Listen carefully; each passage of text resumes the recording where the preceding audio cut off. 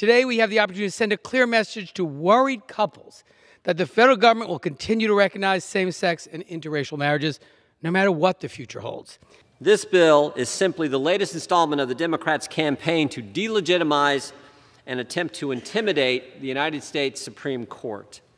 And today, the Democrats bring forward a bill that is completely unnecessary. Why are the Democrats going down this path?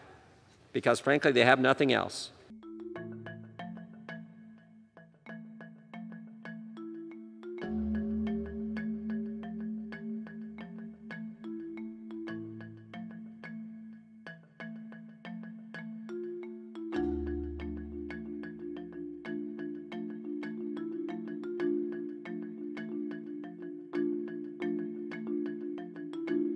We are here for a charade. We are here for political messaging. Democrats can't run, can't run on their disastrous record.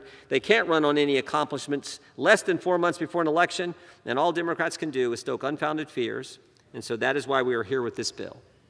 I, I hope we can defeat it. I hope it doesn't pass. I think, as I said, is unnecessary and wrong. And to Mr. Uh, Jordan's suggestion that this is not necessary, tell it to the millions of LGBTQ families that are worried about the Supreme Court's intention to whip, rip away more freedoms. They've taken away the freedom to reproductive care. They've hinted at taking away contraception. Justice Thomas urged them to look at marriage equality. This is real for families.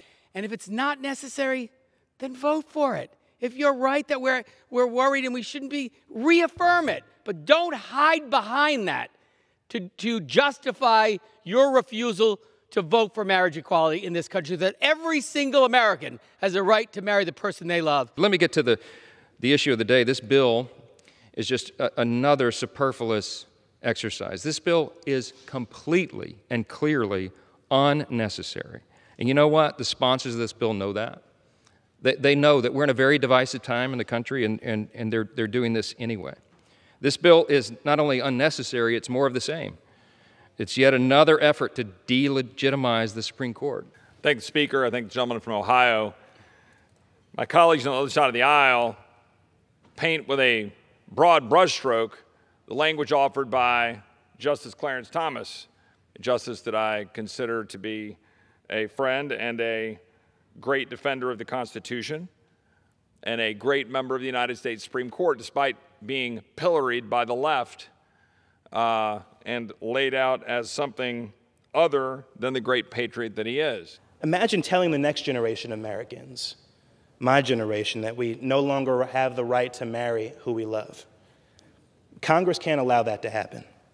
I'm proud to introduce, along with my colleagues, including Representative Nadler, the Respect for Marriage Act, which would codify the right to marriage equality under federal law, but we have to do more than that we have to expand the Supreme Court of the United States to protect fundamental rights once and for all. I yield back.